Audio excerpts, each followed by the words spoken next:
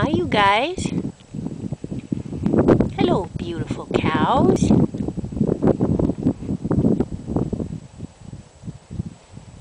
Hi, little calf. Cute little boy you are.